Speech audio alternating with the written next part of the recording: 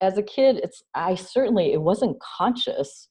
It's so unconscious, right? It's where you just want to fit in. You want to have a story that maybe sounds like what's out there in media, right? It, it's like you want to be like everybody else because there's this sense of belonging that every single person wants, and and there's something about the lack of story that makes one feel invisible or you just don't have that sense of belonging right and that may seem really small but man you know to me that that filters into every aspect of every human being you know because it affects all your choices at the end of the day. Um, and it's very powerful on the flip side right? So not being down on it it's like you know embracing one story or understanding that every person's story matters.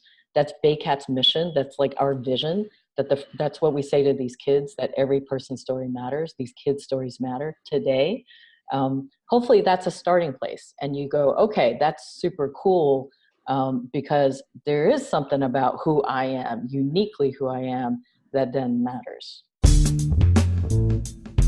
from cave drawings to family histories to stories around the fire, humans crave order among chaos, connection amid isolation. So we tell stories. Our mission at the Storytellers Network is to bring the art of story to the masses. Whether you're in marketing, you're an entrepreneur, or you're developing your own personal brand, telling your story effectively can make the difference between celebrating milestones and collecting unemployment. The Storytellers Network strives to help storytellers tell their stories so you can learn from the best. Now, your host, the inbound evangelist himself, Dan Moyle.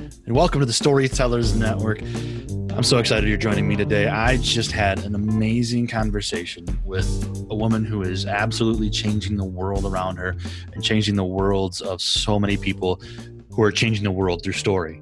Uh, it's absolutely incredible. Uh, she is a the founder, the president and CEO of an organization called Baycat.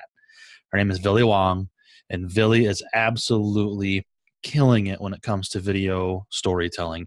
Baycat is an organization that helps uh, underserved youth uh, in the Bay Area, San Francisco, uh, and uh, help them learn how to tell better stories, learn how, how to tell their own story, and specifically using the video medium and everything that goes with that you know filmmaking television uh, the music that goes with that writing production everything that goes along with video that's what Baycat is teaching these kids it's absolutely amazing so here's how it here's how it how it's read off of uh, their website. Villy had a crazy dream to create a new kind of social enterprise that helps kids who, like her, grew up in the projects.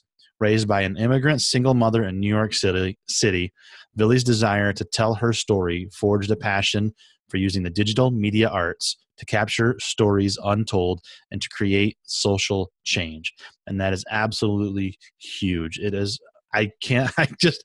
I'm going to let you listen to the to the interview because it is amazing. She is a, a TED speaker. She uh, is a, a, mentor to so many kids. She has an amazing story herself, and we just talk about it all. We talk a little bit about video storytelling, about storytelling in general, the power of story, and her goal is to use storytelling to end racism one story at a time and i think that is absolutely beautiful. So had a great conversation with Villy i hope you enjoy it. Uh, as we get started into today's conversation please remember go to the storytellersnetwork.com for more resources for past episodes for past seasons uh, to help you tell your story just a little bit better and maybe make the world a better place through story. Now let's get to the stories thank you, Villy Wang, for joining me today on the Storytellers Network. Uh, I'm thrilled to have you. How are you today? I'm very well.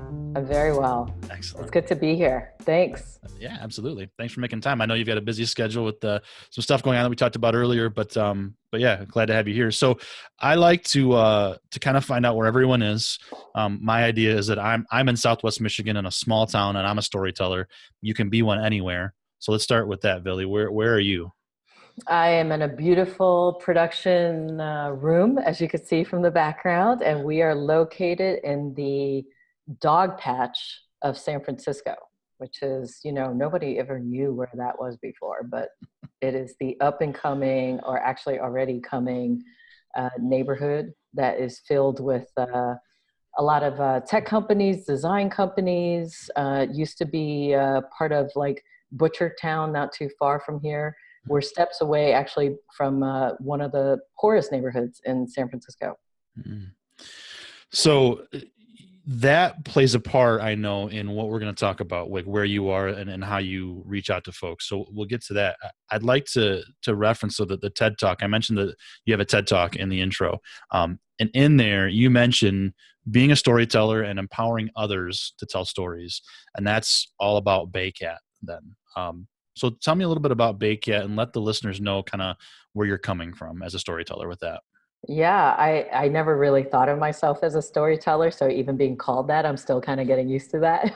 Yeah. but aren't we all natural storytellers, right? At I feel like it anyway. Yeah, right. Yeah.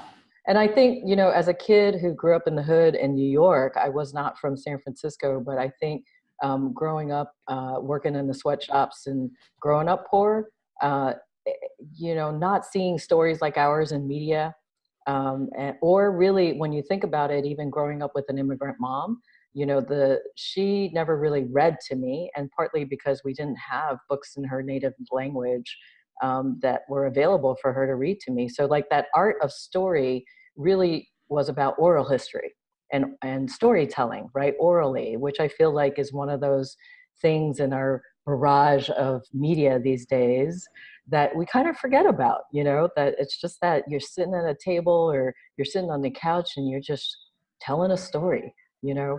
Um, so my mom, I would say, was definitely very much, uh, uh, uh, you know, the the inspiration for me to to maybe look at that a little more closely. Hmm. Um, but you know, that idea of our young people's voices, uh, just like mine, I felt like it didn't seem that my story really mattered because at some level my mom didn't believe that her story mattered you know being the single mom immigrant etc um, so not being represented this i think as i got into what media the media world is or really corporate america and, and being out there um, getting the education that, and, and being able to speak you know english etc and really being a citizen of this country um, it became pretty clear not so much like the stories that are out there but more what are the stories that are not being told or not being distributed?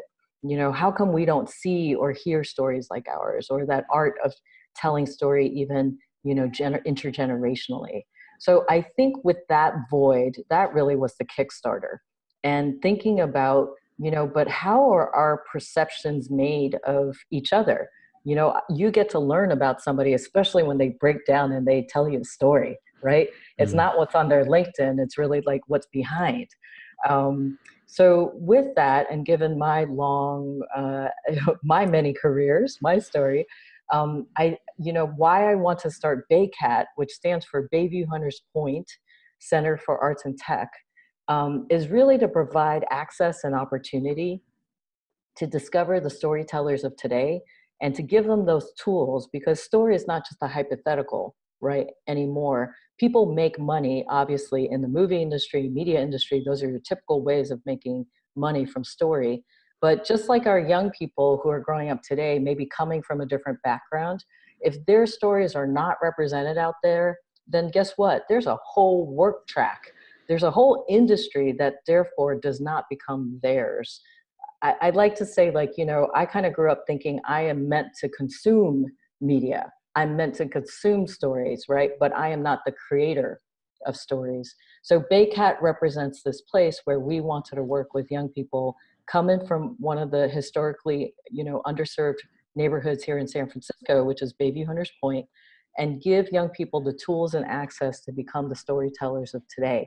Not like tomorrow. I'm too impatient. Like it's not the children are the future. You know, they're they're the now. They're storytellers now. Um, so Baycat is this place where we have this academy and we have free classes. Actually, you know, we have 30 something kids today. Uh, so if you hear somebody screaming, that that's going to be them. Uh, but uh, it's their first day. They probably won't scream.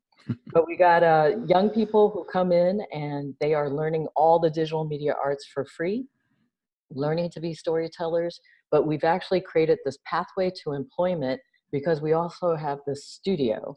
And our studio has this ability to create great stories for paying clients like the Golden State Warriors or Super Bowl 50 or the National Park Service or Pixar.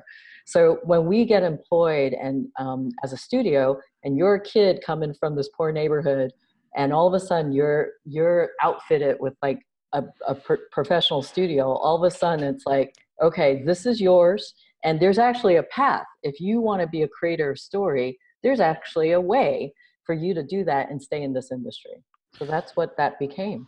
That's amazing. I, I love that idea of empowering them today, right? Yeah. Yeah. That, you mentioned something, Villy, there that I, I, picked up on. You said that you, you thought you felt like you were meant to be a consumer of the media, not a creator. But you also mentioned earlier that when you looked at things out there, you looked at stories, no one told your story.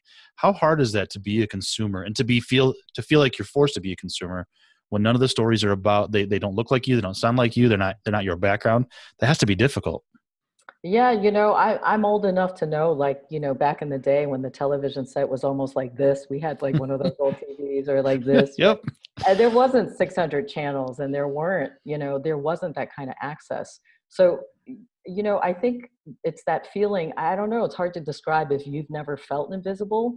Um, but that's probably the best way as I look back, you know, um, uh, even today, I would say in media, you know, when you look at it's great, we've got Black Panther, you know, box office hits. We've got our first black president who turned out, you know, there's a lot of African American stories that are out there that have been put out there. I still see like Asian American and Chinese American, my particular story and kinds of story, you don't really see as much. So even to this day, there's still, I would say, you know, not as many stories. I don't know, it's a hard thing to talk about volume right? It's I, I kind of think of it like you know, once upon a time, if there were no stories in America, um, you know, that were about that were coming from voices like ours. And now maybe there's a little more, and maybe in the spectrum of looking at different cultures and ethnicities, there have been improvements. My question is like, how many decades of being a consumer, right, have been out there? And to the extent we're slowly flipping the, the script or the switch and saying, okay, well, how many impressions, um, how many stories do you need to hear of a Chinese, you know, kid growing up in the hood to maybe change your view of what it is that I could accomplish, right? Or and so if I was a kid and I never saw that before, other than looking and listening to my mother's story and those people are around us and what were we doing? Working in the in the factory. We were working the sweatshop. So if that was the only story that I felt was actually told and that I knew about, there's that invisibility from the outside world, but then there's also the shaping of who I was supposed to be, right? And then, of course, you get into, I think, a lot of the, when you're the consumer, and a lot of the messaging that's out there, and look at also how we've developed for young women, was always, you know, you're gonna you're not going to be the doctor, the lawyer. You're going to be a housewife. Go get married. Where's your Prince Charming, right? All the women stereotypes that are out there. So, you know, as a kid, I know I I want to be like everybody else. I want to fit in, right? Mm-hmm. Um, so so it's like as a kid, it's I certainly it wasn't conscious. It's so unconscious, right? It's where you just want to fit in. You want to have a story that maybe sounds like what's out there in media right? It, it's like you want to be like everybody else because there's this sense of belonging that every single person wants and and there's something about the lack of story that makes one feel invisible or you just don't have that sense of belonging right? And that may seem really small but man you know to me that that filters into every aspect of every human being you know because it affects all your choices at the end of the day. Um, and it's very powerful on the flip side, right? So, not being down on it, it's like, you know, embracing one story or understanding that every person's story matters. That's BayCat's mission. That's like our vision. That the, that's what we say to these kids that every person's story matters. These kids' stories matter today. Um, hopefully, that's a starting place. And you go, okay, that's super cool um, because there is something about who I am, uniquely who I am, that then matters. Yeah. If that if that rings a bell. oh yeah, absolutely. Yeah. And and I and I love the idea that because so you know I'm I'm a I'm, I'm a guy obviously. I'm a, I'm a hi guy. hi. I'm a I'm a middle class, middle aged, straight white guy from the Midwest, right? Pretty standard. I never really thought about this growing up. Um, and, I, and I was in a, I grew up in a town, great hometown, but very much everybody looked like me. And so I never thought about the invisibility of, of folks like this. And now that I have, actually, I have daughters. I have a, a 12 and a 13 year old, nice. um, both girls. And so now as, as a dad of daughters, I see that in a, in a different microcosm. I mean, obviously we're, we're still all, we're still all white. My, my wife is also Caucasian. Um, we're a very European American family. but anyway, mm-hmm. but like that that female side of it, I see that now so much more, and it really has interested me. And that was one of the biggest things, the biggest draws to invite you on, Villy, was the idea that hearing those invisible stories. I, I just I've had my eyes open over the last few years, and I just want to do that. So so thank you for that. Um, that's huge. Well, it's it's great that you see that, and and part of it is you know people's experiences it's like you know if if that's what it took for you to also have daughters and to like again I, i'd love to interview you and your life changes and what what motivates you about story right um, but like there's obviously a passion that you have for that and you honor therefore your daughter's stories right? Um, and and what is it that they get to grow up with these days and the role models that are out there? It's certainly many many more than when i grew up way back when right? Um, mm-hmm. and so i think we're headed in the right direction and certainly you know this kind of um, forum that you have uh, this network that you're building too to to really get these stories out there i think are part of that next step well thank you um, so uh, uh speaking of that kind of that direction everything else and and and every every person's story matters and your website that's one of your threads throughout it and help end racism one story at a time. That that really hit me. So how can we how can we use story to end racism? Yeah, so I mean racism is such a huge, right? It's a big word. Right. It encompasses so many emotions in addition to like just if you study the history of what that is. Um, there's probably not one element of our lives where you know race isn't part of a conversation right from music we, right right before we, we started recording we were talking about music right mm-hmm. um, and just all those influences so um, you know our mission to end racism one story at a time and how do you do that through story is i think it part of what we're trying to teach young people to do is to be authentic in who they are right? Part of that engagement and what we call empowerment i think it's about really engaging young people exactly where they are, or engaging you or engaging me exactly where we are, being our authentic self. And if there's a way that we could tell story authentically, because when you look at like mass media now, there's a lot more movies around different cultures, African American culture, the Latino culture. You know, how much of it is like Hollywood esque, a narrative that's kind of out there that you've heard before? You know, there's a really powerful piece that we did at the end of last year with our young people, and these are like teenagers to young adults to even our board chair, who's a grown man. And we were talking about now, so this is end of 2000, you know, just just uh, last year, um, that we were talking about like how do you feel represented or misrepresented in media today? And what was scary to me were the words coming out of, out of our young people's mouths um, there was like a mini me, you know, what what a young uh, Chinese American young woman who still says like she feels like a secondary character in somebody else's life, you know, or a young African American male in that in that sequence, Isaiah, who talks about he's just trying to get to school and people look at him and they think he's an animal, right? Mm. The, the burdens that our kids, the stereotypes that our kids are still growing up with, right? So where does that come from right dan? It's like how i thought we were we got a black president in office like i said right? We did. So we're done why, with racism. We're good right we done? right? So it just it, it's obviously that we we're not done. And kind of going back to like what i was saying before if once upon a time there were no stories about young black men and then you see a whole bunch of stories that are about them as you know gang people or doing drugs or whatever that is then does that shape people's impressions, especially if you grew up in a neighborhood where there are no black people, right? Just to say it up, say it out loud, right? Yeah. So then, whoa. So just like when people look at me, it's like, oh, you're Chinese. if you can't believe like this is how crazy it was when i was practicing as a lawyer and i got to go to my first event and i was actually in the midwest um, i was approached uh, at that point and i'm you know i got my law degree i'm a practicing attorney i'm in a room with all these other lawyers not other no no other chinese people but i get the comments like oh hi i'm introducing myself. How are you? I'm Villy Wang good to meet you. It's like oh oh hi and i get the nice handshake and they're looking at me and kind of with the, the little doe eyes and it's like wow your english is so good.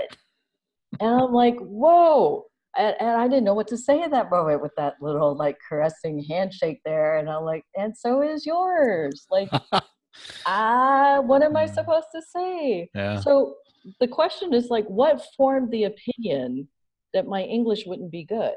Well, I we could point to a lot that would say that, right? How many Chinese American are actually spoken as Chinese people, or if you see Chinese people, they often have an accent, right? Sure. And is an, is an accent bad? Right? So when you get to it, it's like, man, how many thousands of stories, tens of thousands of stories have we each watched or taken in, whether we want to or not, commercials, right? Like again, going back to the consumer, whether we want it or not, even you are barraged with that. So how many how many impressions, how many more stories is it going to take to flip it? And it goes to how many stories are out there that are truly going back to authentic? So as a chinese american woman i have no yeah i have whatever i might probably have a new york accent if you start pissing me off right? So it's like what what is the stereotype and why do we have these stereotypes? So to me mm-hmm. every story that is out there that is authentic and especially like what we're interested in is there a way to move this dial in media? Because what ends up getting portrayed in media, media tends to be that perpetuation i think of stereotypes that may be partly authentic who knows? Maybe part of it is based on some authentic story but you know it's usually then exacerbated to one end. And so then you get these pictures right of people who don't become real they're just not real they're not authentic yeah. so our belief is you know there's a reason why i know i couldn't be authentic in a lot of ways you know um, when when you do see the ted talk that was like one of the scariest things i ever did because i talked about a story that i never talked about before and that was getting ripped off right and mugged by knife point and that was scary and you know my own racism i think partly like every single person needs to look at who they are and where your own racism comes from and acknowledging that you know part of what i wanted to say was i was racist. That came from my language. That came from my culture. But it didn't come from the fact that some of my best friends were african american. Mm. those going back to authenticity that you know it's not like my best friend who's uh, who's african american was like every other african american or even some of the bad experiences i may have had. It's let's take this person for who they are. They're real they're my best friend. This is this is the stories we get to shape together mm-hmm. right? So i think when you get down to our human nature and maybe how in some ways our brain wants to almost generalize because it's easier to manage i don't know uh, I don't know the science of that side of it, but I do feel like, you know, what my love is and where I love and and you know, you know it when you hear a story and the little hairs go go up, right? To me, that's that's when it's authentic. That's when you know there's something here. There's something that this person's telling me that's that's getting into my getting into my being. And hopefully what we believe is in every time that happens that's going to help reshape how how we each see people you know and maybe stop stereotyping and generalizing mm-hmm. you know? Well it's like it's a, a stone thrown in the water that ripple effect of storytelling to each other helps hopefully shape that i, I agree. Yeah. So well i, I want to go yeah. back to something i want to um but first i want to go back to the very beginning of our conversation when I said your name, I didn't even ask you how to pronounce it as a as a, a Michigander. I went with the hard A. Is it's Wong? Is that it's right? Wong, yeah. Wong. Okay. So Wong, All right. Wong is actually a very important name because it's a it's a it's um in Chinese, in Mandarin, it's uh, the word for king. Oh, okay. So I, I always joke around when I see a kid who might be his his or her last name might be King, MLK, Martin Luther King. Uh, we're actually so it's the same last name. It's Wong. That's awesome. Yeah, I love that. Yeah. Very cool. So so so now I now that I have that good, um, I got my Thank Midwestern you. accent out of the way. Um, you mentioned stereotypes. So so when that person came to you and said, "Oh, your English is so good," stereotypes. I, I, I think quite often, as you said, start off quite with our experiences, right? Yeah. We, we, we, they're shaped by that. So stereotypes in and of themselves aren't inherently bad, but how we use them is bad. Like, is that kind of right? Yeah, I think it's more like how we use them can be bad, right? Yeah. Because if, if for example, and as think you know whether it's unconscious bias that's being taught now in the workplace et cetera mm-hmm. if that stereotype doesn't even get me an interview for a job, then definitely the opportunity that I would have is different than an opportunity that you might have, despite your Midwestern beautiful accent, right? so I think, you know, that's where it's not the stereotype in and of itself. It definitely is about how it's used mm-hmm. and how we how we interact with each other. Like how many missed opportunities there's no way to measure right may may i not have had or your daughters just because they're girls mm-hmm. right um, or like i remember um, i wanted to play the saxophone when i was in um, you know uh, junior high school they call that in, in new york city not middle schools um, and they were like oh you're a girl girls don't play saxophones and I didn't even have like somebody to point to to say, you know, the Simpsons weren't on yet. so oh man, good like, point. right? There yeah. are no like women saxophone players. So I don't know why. I was compelled I want to play saxophone. And they're like, no, no, no. Girls play the flute. I'm like, I'm not interested in the flute. like, no, thank you. It's like, okay, well, maybe you could play the clarinet. Clarinet, right? Great what the heck is the difference between uh, you know we're, we're in the woodwind family and a clarinet and a saxophone really where did that come from right. just because women didn't really play saxophones i don't know yeah so of course i ended up showing them because i became concert master mistress or that doesn't sound right either. I was the woman of the concert. Uh, and uh, and then just later on got my own saxophone That's right? awesome. so like gotta prove it to them. But absolutely. I think to your point you know about the stereotypes and i think what is really interesting to think about these days is how you know how does story and authenticity story and the flip side of like looking at stereotypes come into play every single day in marketing and business. Mm-hmm. and you know when you look at the corporate world um, everybody's about their brand. Everybody is about hey we're the good guys. Look at us. We we care about community. We care about you and therefore we want to sell you this thing right? Um, and people are becoming much more color conscious right? It's like you're going to see the brown and black person. You're going to see the woman.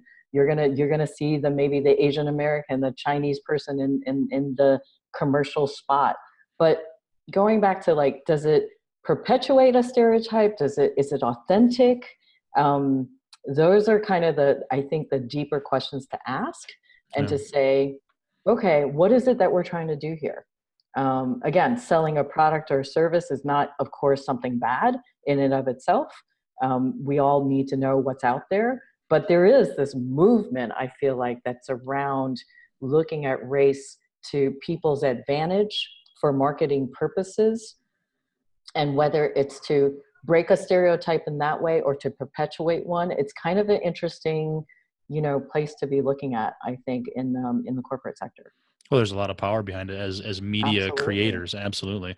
Well, absolutely. And, I, and I guess my thought is, you know, I and I, have had this conversation with um with uh, African American friends of mine or or other folks who are on a in a, just a different world than I am, and and I and I used to hear the term white privilege and think that it was immediate immediately negative that I was take advantage of the privilege and, and I didn't let anybody else or whatever. And so then I I, I have begun to expand that obviously and think about that and, and i think the same thing comes with stereotypes is that it almost seems like this the person who believes a stereotype without ever realizing that it's not real isn't doing it out to, isn't always doing it out of um out of a negative place right so so once you're educated once you're kind of uh, awakened to that to the idea that there are other stories out there. It's then it's on our responsibility then to help break down those stereotypes and tell those stories and share that you know whatever ethnicity you have whatever race you you are yeah. um, you know because because i think of this quite often as when when you hear the term racism i very personally think gosh that must be you know white people against everybody else. And that's just i mean what you said earlier about about your own racism from your culture like you don't think about that. And so i think it's so important to share those stories so i don't i don't have Yeah. a question on that i just i No, just like i love the idea of of that of helping people see that Well, I think it's a it's a tough thing.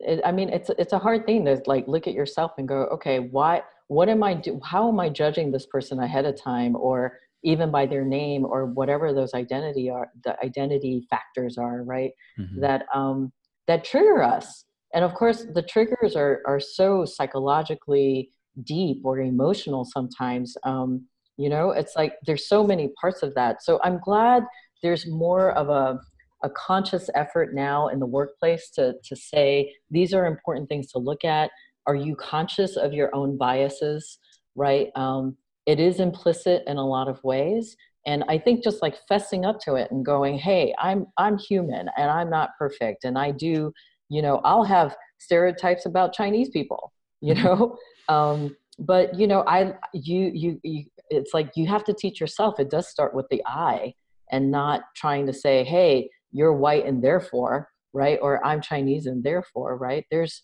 it's like you're saying there you know racism is is definitely um you know not what is it called not colorblind right? Right. It's like it's not gender blind i mean we all have pieces of that ism in our bloodstream um, so it's like how can we become aware of what what what it is and how it is affects us? Um, and i think you know for for people who may not feel represented in media going back to like how our kids are feeling um, in that short that we created that i was telling you about uh, you know part i think of the solution is is that we we are hoping to offer is to say you know you don't you have a choice. You don't have to live in that place. You don't have to be that person that feels like you have to be only the consumer because your voice does matter. And yeah like find that part of you where you want to express yourself and you want to make your statements and you want to tell your stories you know? And when you see what our kids create it's really so inspiring because it's not just about let me tell you about my race. You know they do mockumentaries they do satires they do documentary films they do music videos. Um, do they all have like a social justice element to it? Absolutely. And i think that's partly because we make this place a safe place to talk about it right? Because it kind of goes to like dan if you're talking to yourself half the time and you're like okay am i being racist? And like you know and you're like hey I, i'm totally cool or i could say that it's like i'm totally cool i'm multicultural i have friends everywhere but when do you like do you have hard discussions you know with some with some friends where things are uncomfortable? Um, we get to do that with our kids. Like this is a safe place where if they are having a hard day or something is going on you you kind of need your people. You need your people to be able to talk and to relate to how you're feeling because those feelings are important um, and to work through them it's not like y- you also want to erase them because they're quite real Mhm. right so going back to like if you feel these stereotypes and and you're feeling them whatever what for whatever trigger things are happening and and this incident happens who do you talk to about it and you know is it like oh man here we go it's just a racist society and this is always going to happen Yeah. and do you stop right and and i feel like i hope we're in this time where we could go beyond that. And i loved what you Yeah. said dan about like being as we say like woke right? If you're if you get that we could we all have some responsibility or we have an ability to help people see a different part you know a different a different you know different kind of world that we could all be in where we could be more accepting and belonging to each other. And here's an amazing story i want to share with you right? Like how many people share positive stories that break down stereotypes is is my other answer my other question yeah right we're look at the fast amazing crazy that happens on social media um, you know with, with some of the latest things about racial insults of one of the most powerful women in, in the White House recently and all about race, right? And looked at mm-hmm. what happened. So that exploded. Um, and I think it's because of the controversy, the conflict, and in a way, look at the outcome that happened after that, right? And, mm-hmm. and of course, everybody has an opinion about whether that was right or wrong. But in the end, it's like, what is it that we're doing to ourselves as a society? Does that kind of thing perpetuate the racism that's out there? How many positive retweets have you done, right? right. Or have I done, right? How many shares mm-hmm. of like really powerful stories um, do we actually pay more attention to? And I, I don't know. I feel like if there's some way to help flip that for people, um, to see mm. the to see that and say it's okay for me to watch something and get the little hairs up and and maybe even cry and makes me want to do something and it changes a stereotype. Whew, yeah. I'd love I'd love the um, the the pill you could take for that to help people do more of that if that's possible. right. I've been fighting that fight since I was a news producer at a small CBS affiliate, trying to bring good news instead of all the the, the terrible stuff. So yeah. I'm with you, Villy. Yeah, that's a that's a hard one. it is. Well, and, and I like what you said about uh, you know it's not it's not just racism is what it sounds like it's bias it's judgment mm-hmm. and the mm-hmm. idea to me is if we can humanize other people rather than dehumanize that's where the storytelling comes in. If I can tell that story that gives that makes your hair stand up, that brings that lump in your throat, if I can share that in some way, we're humanizing each other. Yeah.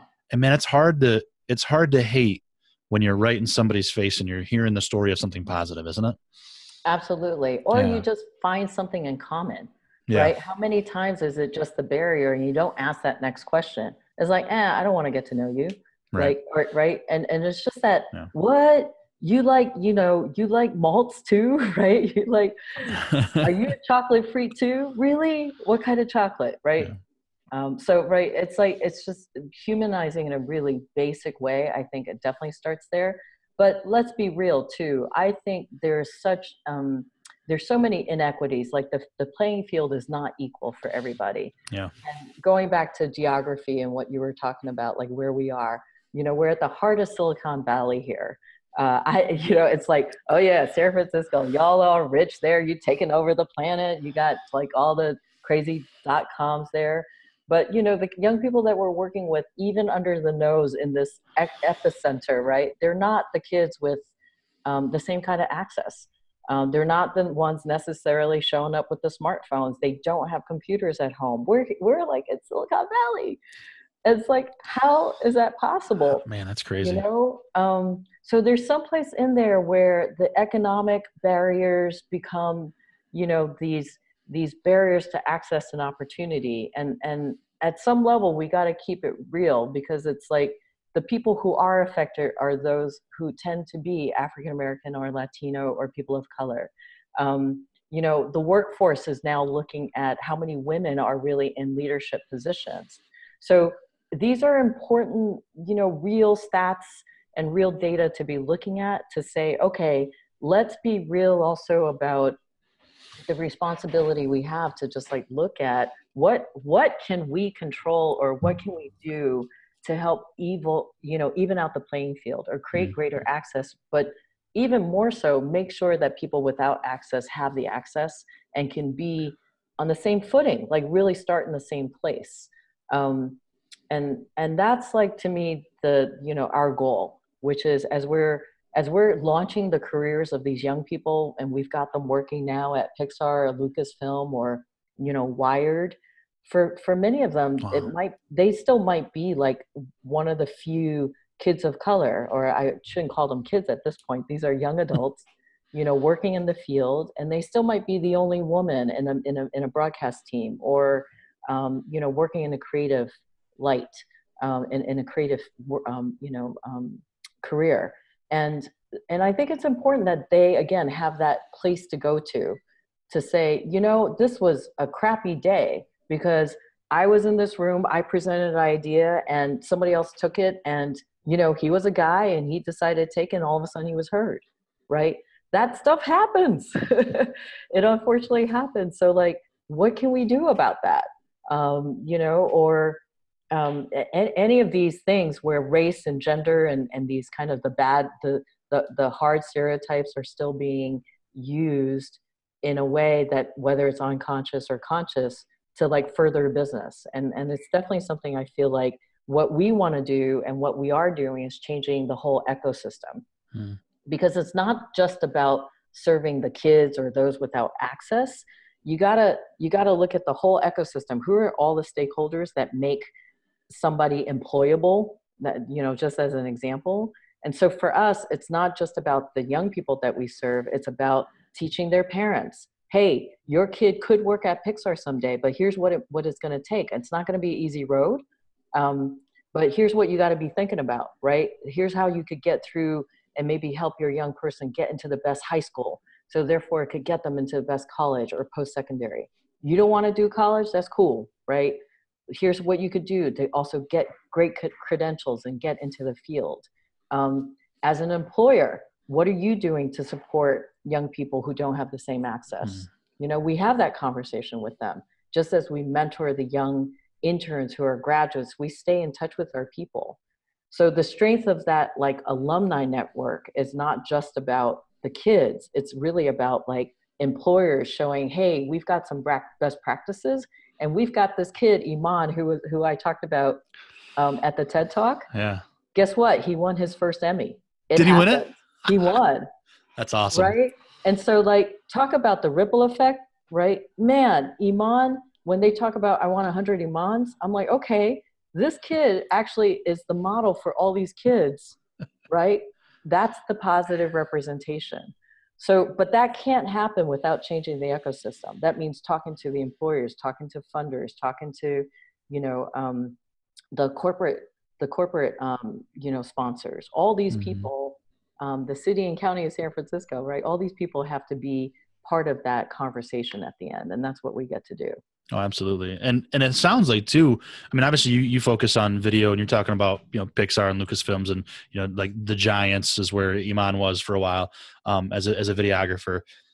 But to me, it's probably not just media. What you said a minute ago about helping the, the family understand, the parents understand, you can use this to get into the better high schools. You can use mm-hmm. storytelling, mm-hmm. I would guess, on your resume, whatever it is. So you don't like you don't have to go into the media world. You can use no. storytelling for anything. Absolutely. And That's I awesome. And I I always say that it's like not every kid that goes through BayCat is going to be a filmmaker or a media maker, but it's just even engaging in your own story and knowing that you matter gives you a, a certain sense of you know empowerment like you literally see these kids start the day and they, they don't even want to say their name they're not even looking up and by the time we hit the world premiere they're announcing they're like you know hi i'm billy i'm 16 and i'm the director of a you know of a film all of a sudden it's like the body language changes they could do anything they want from that moment you know? Mm-hmm. it's a it's a huge it's a it's a, just a huge way to engage young people and say hey you do matter you could go do anything you want. But you know the reality is the other side which is like we can say that and pat them on the back and trust me people have done that but we also keep it real. It's not it's not a fair playing field it's not necessarily level or equal so how can we build, you know, greater equity into the workplace or along this pathway? So people that we work with definitely need more support in different ways, you know, and that goes back to like looking at the whole ecosystem together.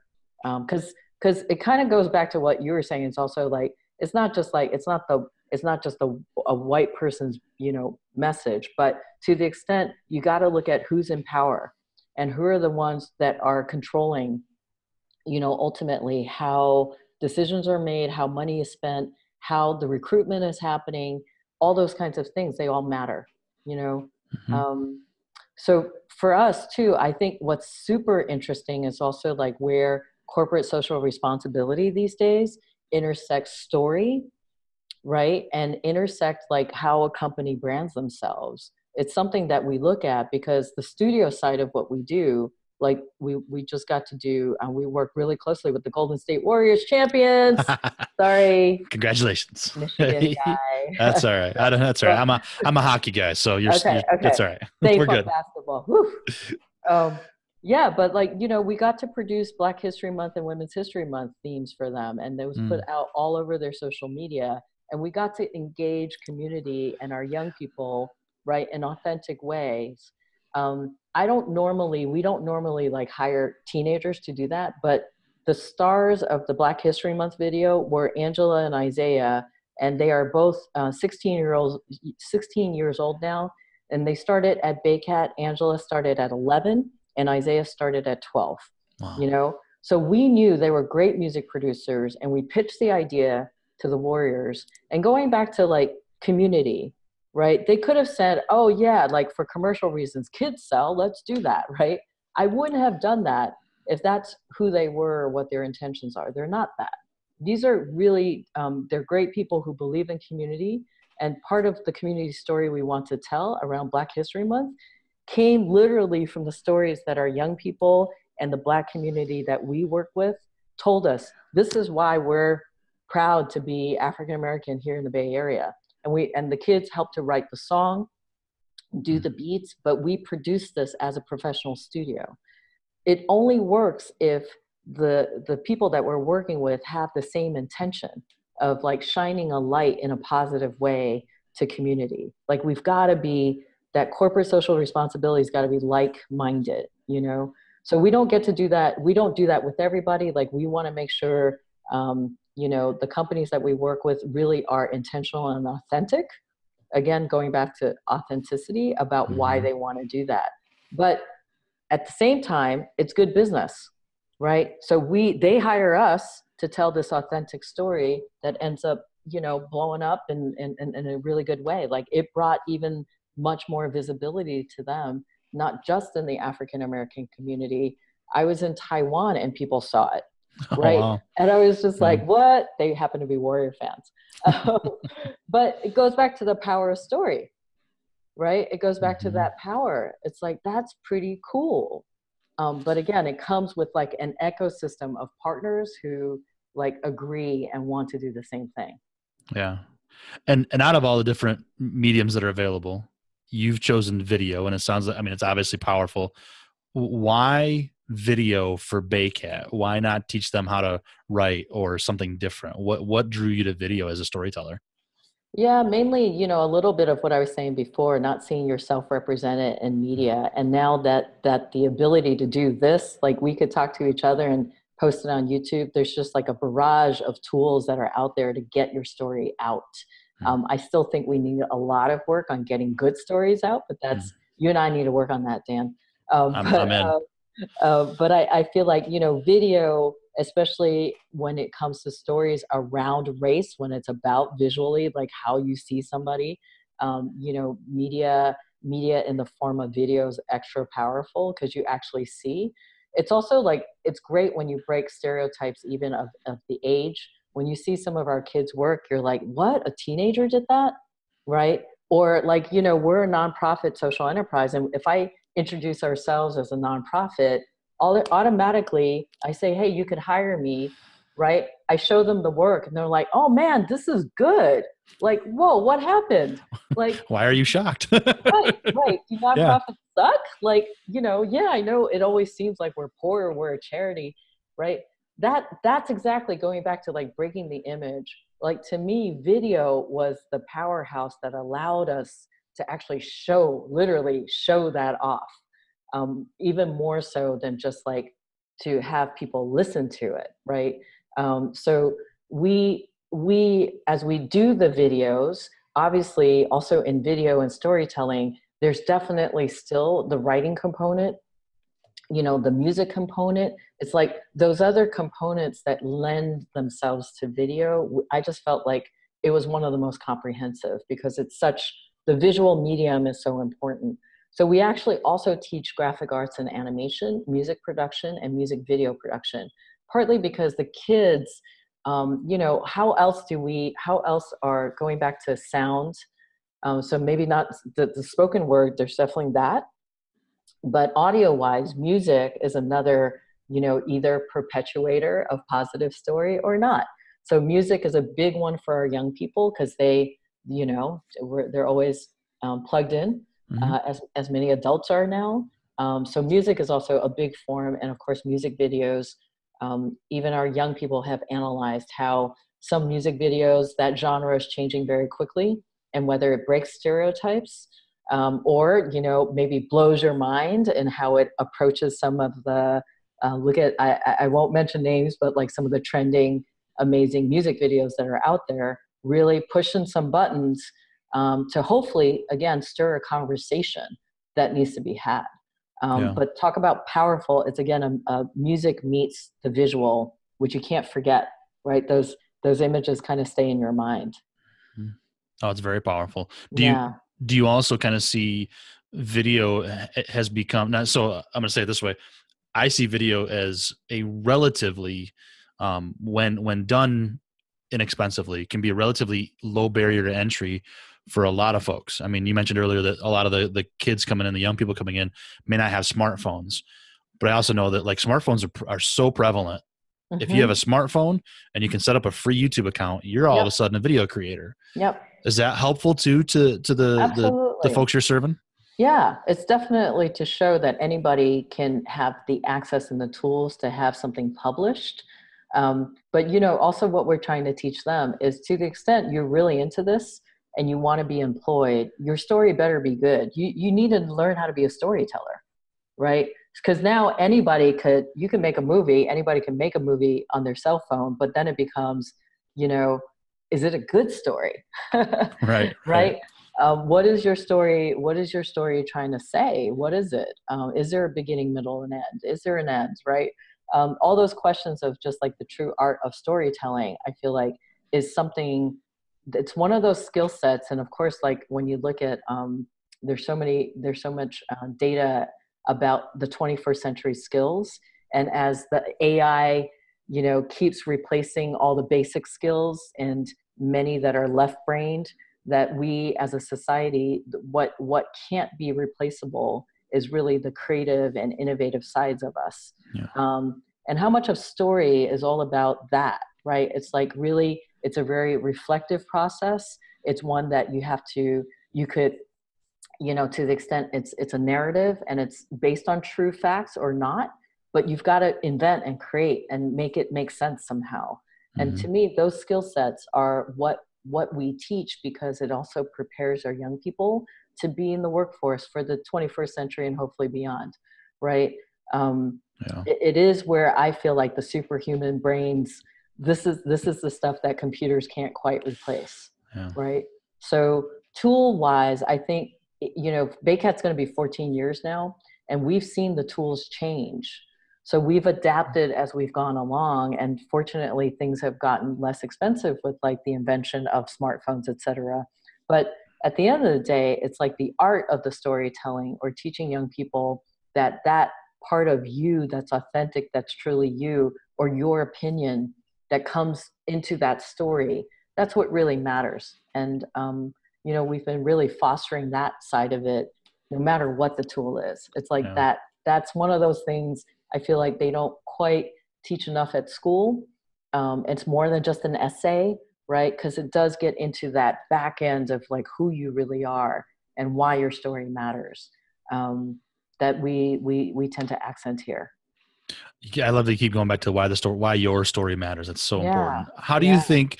How how can listeners of the Storytellers Network, people that I would consider probably, you know, affluent listeners, so to speak, right, um, compared to a lot of the world around us, how can those listeners who want to be storytellers help you help Baycat help the people around us maybe um, those stories aren't being told how can we help those stories get out there?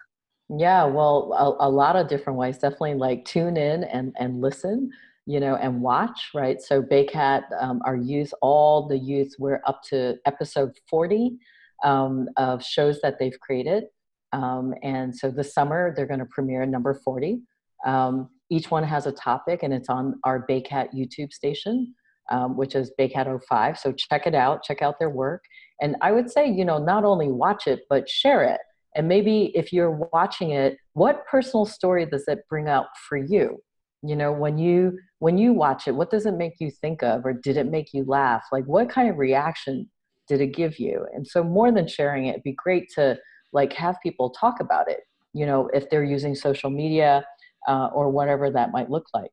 We've we've often, if you're in the corporate sector, you know, um, I, there's a lot of like people having conversations, whether it's with guest speakers and panels over brown bag lunches. I'd be happy to come. I know we've had our young people come. uh, whatever that looks like. So it's almost like a festival feeling, right? You could get the story behind the story. What made a filmmaker make something like this? Or mm-hmm. what's behind the scenes? Because that's always super interesting, the story behind the story. Oh, yeah. So, you know, if there's an opportunity to, to share a story there live, um, uh, through a, a, company or whatever that might look like, that would be great. We, we really welcome our corporate partnerships and foundations. Um, if I was a for profit company, I'd be saying, you know, I can't raise money fast enough. I need my next level of angel investors to really scale the storytelling model. Um, so we're right at that place as we turn 15 next year to say we've been visited by people all over the world um, from Asia. I've been in um, Ethiopia with a bunch of kids, um, in Europe, uh, also across the nation. So we know we have a model that people are interested in. And, and honestly, Dan, I can't raise money fast enough to not only like figure out how to take care of scaling or, fi- or like scaling our model, but also last year we actually turned away over 200 young people. So the demand is so heavy. Um, and so part of what we're doing is growing up like any other great organization, which is looking for really great people who love what we do. And to the extent people want to get involved, you know, you could you could write me an email. Um, and and I don't know if you, I'm sure you'll publish all the information. So mm-hmm. I welcome that. Um, in addition to like you know um, sending us a note, letting us know how you want to support, because we are really at that place where we'd love to bring more storytellers into the world. You know, and mm-hmm. whether you're creating it or helping to create that ripple effect and that system to be the the vessel for all these stories we need that you know we need the people who are the like-minded folks in your network so yeah well i'll definitely put all the links in the, in the show notes how do you think yeah. um, if, if i'm a storyteller so i'm in outside of kalamazoo michigan in a small town and and and there have there has to be stories around me that aren't being told people yeah. who feel invisible. Yeah. How easy is it or can i just reach out to folks and say i want to tell your story. I mean does that does that do you think that gets awkward or do you think that's something that i can actually or, or again the listeners whatever town you're in wherever you are whatever your network your your sphere of influence um, yeah. I mean how does it look to to reach out to folks and say i want to help people tell their story yeah, I think you know people who love our, our love this idea. I, I basically am the you, right, and saying, "Hey, I want to figure out how to do this." You know, it it, is. It, of course, it could be awkward, right? Like, "Hi, I just met you. I want I want to hear your story." Mm-hmm. Um, again, I think it has to be authentic, you know, yeah. and you have to build trust. And and it's like to what end? Like, am I? Are you going to make money off of my story? Like, how many stories are being argued about or like being sold? Right? So there's kind of that that money side of it the economic side of it that i feel like you just got to be real about what this is you know? As a studio when when clients when we hire clients we're very real about every dollar is helping this entire model right? So i think any person going out there of course if you're eager to find out people's stories there's you've got to be your authentic self of how that comes across yeah. and ultimately where it goes because i think the flip side of that too dan in our world of privacy is okay so where the heck is this going to go? And like who's going to see it? And how's that going to maybe kick me right in some way? Um I, I think but for me being on a ted stage like man you're kidding me right? I'm going to give a ted talk about racism and you know basically talk about like my own racism. That's like i don't think i would have done that if it wasn't for a, you know a platform that i trusted right? There's got to be some connection to ultimately that level of broadcast. Mm-hmm. but i do love your intention dan because i do feel like if we were as humans more curious about each other and instead of like you know trying to fix somebody or you know let me find out about you. Let like let's share a story. Let's find a commonality. I, i'm not trying to get anything out of it. I just want to get to know you you know mm-hmm. i'm not trying to get a date i'm not trying to like right it's like there's always like the uh, uh, uh, what what are you after mm-hmm. like i think to the extent we could really honestly share stories and and and and build that kind of empathy um, for each other through stories that that certainly would make the world look a lot better than it is now wouldn't it? Just a little more empathy, a little more fireside chats. Yeah, not even necessarily to to publish it and share it. Just exactly. sit down over a cup a cup of tea or something, right? A cup yeah, of coffee, I, a beer. Like, no, I'm not going to try to post it. It's just like it's a moment. Um, mm-hmm. I kind of I feel like we're losing that part of ourselves a little bit. Yeah. Um, so uh, so yeah, uh, cool. you know, yeah. So uh, I, I want to hear. Uh, I could sit here and talk to you all day long, Villy. I know you got 32 kids out there waiting for you and things to do. No, so no. I won't do that to us or the listeners. Um, about an hour is probably my attention span. So, but, but I do like to to find out though if you could tell only one last story and that was it, and you were done telling stories, what story would that be for you? What would that look like? Oh my God, Dan, that's a really hard question. It's my favorite. oh, if I could tell one last story, like, and then I'm kaput and that's it. Yeah. Now, I, I will say this, Villy, you said earlier, we're all natural storytellers. So probably you'd never be done. but if for some reason, yeah, you could no, you could no longer tell stories as a storyteller, what would that be? Wow. Well, I don't know. That's a really hard one because it's like my mind is filled with stories for sure. Um, and I keep thinking about like maybe maybe can I do like a story wish? Sure. Yeah.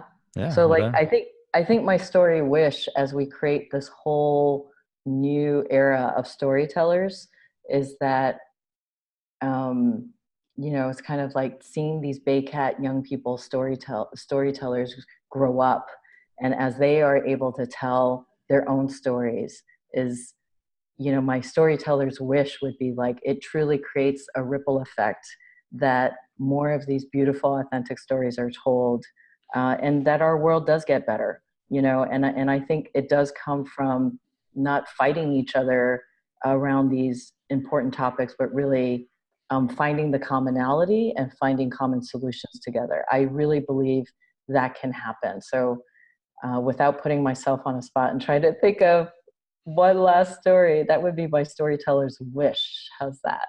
That's perfect. and, and, that would go such a long way to ending racism one story at a time. So Oh my God. Like perfect I, way to wrap it. Yeah. I want the I want the stories to to be able to replicate and multi- multiply at a at an exponential rate so that we mm-hmm. could get to a better place. Now, I'm impatient yes exactly i'm with i love it well villy thank you so much for taking time to tell your story and the story of baycat uh, sharing that story with the listeners. I appreciate it. Thank you and thank you for what you're doing dan. It's my pleasure. What's the easiest way for the listeners to, to find you? Yeah so find baycat at um, baycat.org www.baycat.org um, you could get me on twitter you could get me on linkedin that's probably like the easiest. Um, and if you want to shoot me an email, you could definitely um, do it through the Baycat website, um, or you just like Villy Wang at baycat.org. So it's pretty simple. Excellent. Well, Villy Wang, it's been an absolute pleasure. You are more than a king uh, or a queen or however it translates exactly. But uh, I, I thank, thank you. you so much for sharing. No, I appreciate it, Dan. Thank you. My gosh, thank you, thank you, thank you, Villy, for joining us today. It's so, so much appreciate you sharing your story and Baycat's story and the stories of these uh, young people just making huge waves in the world. So, so thank you again to our guest, Villy Wang. Be sure to visit her online. You can find all those links in the show notes. Uh, definitely check out Baycat and check out some of the videos. They are amazing. And so, and watch that TED talk. I'm telling you right now. Um, I ended up watching it uh, just before our talk, and I came into it all emotional and like just ready to cry because uh, she is such a great storyteller. So, Villy, you are awesome. Thank you so much. Uh, hey, if you enjoyed our episode, consider sharing it all over the place. As Villy said, the key here is to sharing uh, great stories and positivity out there in the world. So get on Facebook, share a story, uh, share this on Twitter, on LinkedIn, wherever you want to share. I really appreciate it. Uh, and also, what helps is leaving reviews. So, of course, in the world of podcasts, uh, reviews are huge. So, uh, on Apple Podcasts, if you want to go there and, and click the write a review, leave a, a rating if you enjoyed it, and uh, and if you didn't, then don't. but uh, but no, if you, I know I'm full of bad jokes. I'm sorry, I laugh at my own stuff. Anyway, if you enjoyed it, leave, leave, a review there, just something short, sweet. I really do appreciate it. that helps us to reach new storytellers. In fact, Wally Carmichael, host of Men of Abundance podcast, another great place, by the way, to go find amazing stories. Uh, left a review early on uh, in this journey. He ended up being a guest eventually too. Uh, he's just a good dude. And he said, "I'm a sucker for great stories." I like what I'm hearing so far on the Storytellers Network. Dan, thank you so much for taking the time to put this together. I really dig your story. That's so cool, man. Thank you, Wally, for the kind words. Mahalo.